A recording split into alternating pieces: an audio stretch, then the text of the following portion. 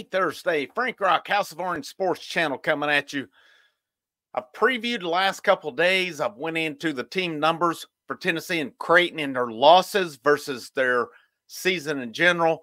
Uh, this morning, I released a video that talked about the individual players, the individual players for Creighton, individual players for Tennessee, their losses versus their season. What I was looking for was trends and all that. I was looking for trends. I was looking where advantages may be on that. And, you know, I, I saw some things that were concerning, but I also saw some things that I like in that as well. And uh, when I get into this matchup, I look at this one. The title of this one is Keys to Victory. And then we'll give a prediction tonight as well. And I think some of you have assumed my prediction up to this point.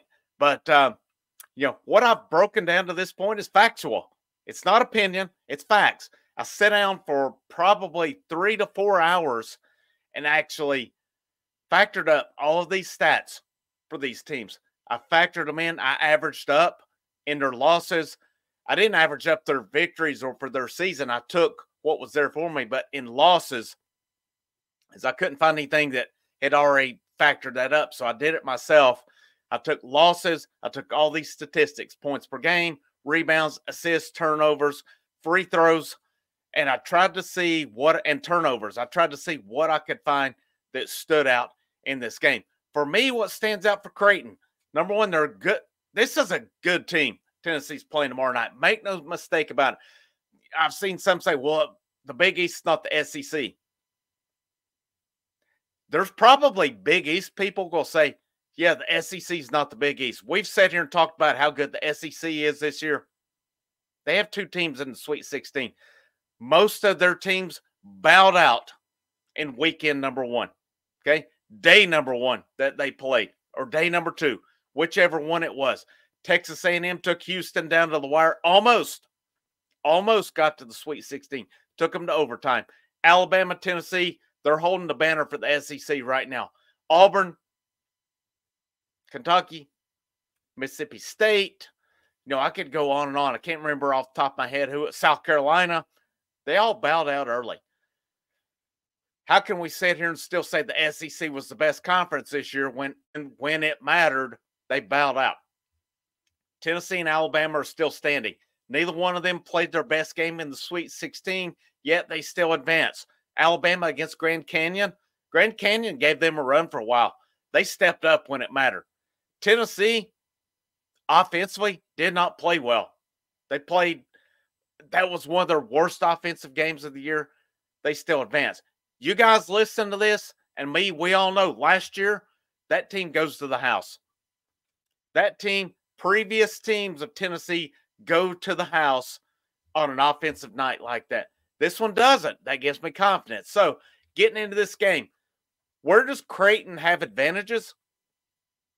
Tennessee's not going to run the paint in this game.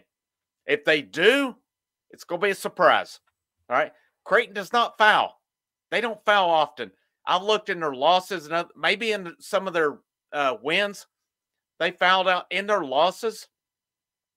They gave up minimal free throw attempts on the season. I talked about this number on it with free throws. They gave up in losses. This is not for the season, losses. They only gave up 87 free throw attempts. That's with them getting beat. They took 129. They had 42 more attempts. Tennessee can't go into this game being bullheaded and thinking, we're going to go at Creighton and try to get to the line. If they have success, there's a small percentage chance that they do in this game. What's your, if you're Tennessee, you're going to have to hit the mid range jumper you're going to have to make your threes. You're going to have to be at your average or above on that tomorrow night because this is just a team that doesn't foul. They play good defense. KenPom has them 11th in the country. Their defensive efficiency is not what Tennessee's is, but it's good. All right. It is good. So, you know, Tennessee's going to have to make shots tomorrow night. Will they shoot like they did against Texas? I hope not. But you know, I've had some, well, they're not going to shoot that way against Texas. They just did it. Okay. So, how do we know they won't do it again? We don't think they will because that performance has not happened often, but there's always that chance it could happen. If it happens once, it can happen again. All right. So you have to factor in worst case versus best case. And you're hoping that obviously you're hoping best case, but if best case isn't going to happen, you're hoping for somewhere in between. And you're definitely hoping that worst case does not happen. So that's Creighton's game. You're not going to get to the free throw line on this guy, on these guys. So where you have to match them, don't let them get to the free throw line because in Tennessee's losses, and I talked about this and I put it together on my spreadsheet, they gave up 218 free throw attempts versus taking 146. That's a significant difference from what Creighton is allowing. So teams are able to drive and get to the line on Tennessee where they have not been able to do that with Creighton. You can't sit here and be bullheaded about it and say, well, by God, Tennessee's going to do it tomorrow night. No, you can't factor that. All right. Do you want to? Yes, absolutely. You're hoping that pace picks up, which will favor Tennessee. Tennessee in these games where teams have liked to pick up the pace, it's favored them. But these Alabamas, Kentuckies, Floridas, these teams that like to play at pace don't play the defense that Creighton does. And Creighton's basically a six man team. But let me tell you, four of them are really good. And Mason Miller, the fifth guy, can shoot to three. He shot over 40% from three this year. So make no mistake about it. This is a strong team. This is a very good team. Where I have found that it favors Tennessee, rebounding could go either way tomorrow night. Creighton's not a great offensive rebounding team. All right. They're just not. Tennessee cannot allow them to be tomorrow night. Um, your guys have to play their game. I said it last, or I said it this morning. I actually recorded the video last night, but I said it this morning. My defensive lineup, I let Dalton Knecht grade uh, guard Mason Miller. I let Ziegler guard Ashworth. I'm putting a combination. I'm putting Vescovi on Trey Alexander.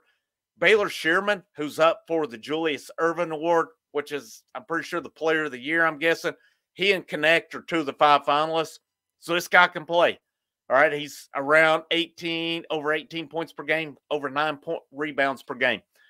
I'm putting Josiah Jordan James and I'm putting Jahmai Mashack. If you're some of these guys are not hitting it offensively, I'm immediately, if I'm Rick Barnes, I'm putting Jahmai Mashack in to do his thing because he could do it. All right. He's one of the best, if not the best defensive player in the whole country. Funny thing to me is Zakai Ziegler won SEC Defensive Player of the Year. He's not the best defensive player on his team. It's Jahmai Mashack. They've said it. This this is what's helped make Dalton Knecht better is going against Jahmai Mashack every day. If the shots are not falling for some guys, Mashack should be in early and often moving forward and on Baylor Scheierman, who is uh, Creighton's best player. But I don't say that lightly because they have four really, really good players. And, um, you know, I, I saw somebody talking about the shape they're in. You have to be in that shape to play it. Now, if you're Tennessee, you've got to play physical tomorrow night. You have to. All right. That's something that has stood out. San Diego State last year in the Sweet 16, um, or it was in the Sweet 16 Elite Eight. I can't remember off the top of my head, and I do not have it pulled up, and I'm not going to pull it up. But San Diego State played physical, and they prevailed with it. Tennessee has to dip into their repertoire of physicality tomorrow night. I don't really think they've been that physical this year. I feel like they've been out physical numerous times. They're going to have to come up with it tomorrow night. But um, so that rebounding battle is there to be had. It's also there for Creighton to have as well. That could be a 50 50 on it. Where Tennessee can excel and pick up points. I don't think they're going to pick them up the free throw line. If they do, it will surprise me on it. Shooting wise, Creighton is the better shooting team statistically on this. All right. Stats are stats. Can we throw them out the window at some point? Yeah, we can. But we also, if we look at a body of work, they are what they are. Here's a body of work I have for you that you're going to like. Tennessee forces a lot more turnovers than Creighton does. Tennessee makes things happen. Uh, assists are similar. That turnover difference, though, Creighton is one of, if not the lowest rated statistical teams in the country in terms of forcing turnovers. Tennessee's good at it. If you double them up on the forcing there's uh, I can't even speak. If you double them up in forcing those turnovers, um, that could be your big advantage. That could be a big double digit advantage right there. That could factor in Tennessee's hands. And the last thing, I've been reading some articles based on uh, from the Creighton perspective, which is pretty interesting. And they're they're even saying in their articles, Creighton has not faced a defensive team Tennessee all year long. So if you're Tennessee tomorrow night, your average on the year is around 31% for three points. If you hold Creighton to that, you got to like your chances on that. You allow them to get out and go tomorrow night because their percentage for the year for Creighton is 40, uh, I'm sorry, 36.6 and losses 28.9 on it. Tennessee giving up for the year from their perspective is um, 30.9. All right. So if you can hold Creighton to that, your percentage, if you're Tennessee for threes on the year, is 33.9 on the year. If you're around that average, 35, give or take, you hold Creighton around 30, you're going to have a good chance to win this ball game tomorrow night. And that turnover margin in these losses, some of these guys are turn they're turnover prone. All right. Not like five to 10 or nothing, but two to three, that's a pretty drastic amount, in my opinion, on it. So keys to victory for me, I'm going to narrow it down. Hold Creighton to your average that you're giving up in three points 30, 31%. Okay.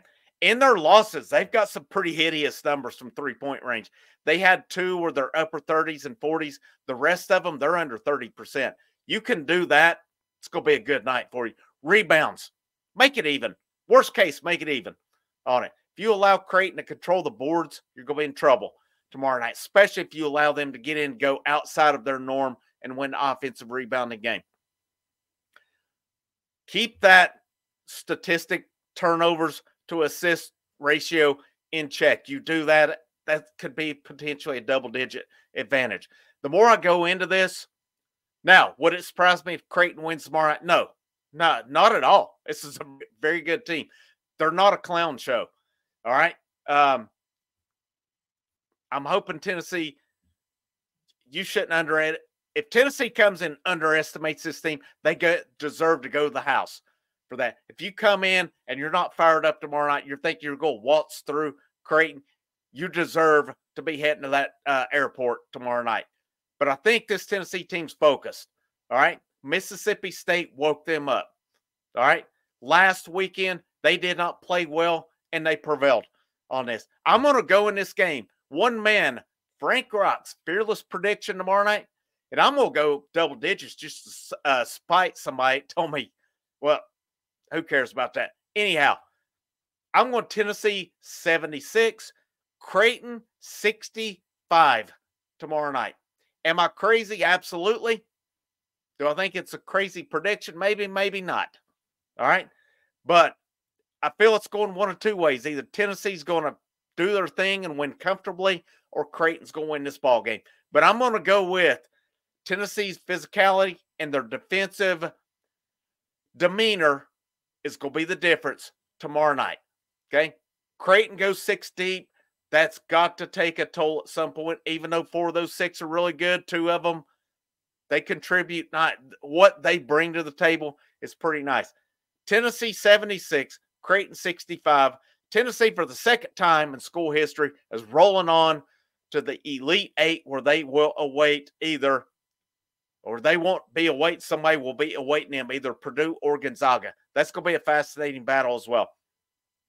I'm still kind of up in the air whether I'll be live tomorrow night or not. I do have a uh, a previous engagement tomorrow night, and where it's out of town, it's almost a couple hours away. But I'm hoping I'll be back by that time. And uh, I'm going to say let's. I'm, I'm actually not going to say because I don't want to disappoint. My hope is I'll be going live tomorrow night. It's going to depend on how the time goes. If I'm not back by the end of the game, obviously I won't. If I am, I will. I'll post it you know, make sure you follow me on uh, definitely Twitter at House of Orange TN, and I'll have a post I'll update on there as well based on my time frame on it. I'm hoping I'll be able to get back and get live with you. But uh, you know, thank you guys for tuning in. Make sure you share this out. Make sure if you haven't already, you subscribe uh, subscribe to the channel.